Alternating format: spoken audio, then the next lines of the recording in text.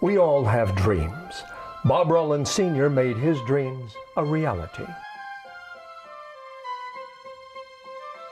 In his backyard, he molded 10,000 pounds of lead into a keel upon which he built a 45 foot sailboat. He moved his landlocked behemoth from his Arcadian neighborhood to the harbor at Newport Beach.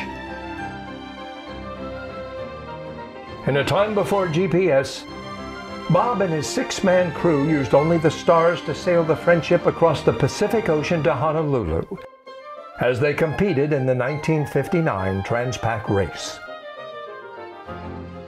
Bob Rollins lived his dream. And for his crew, it gave me a story for the rest of my days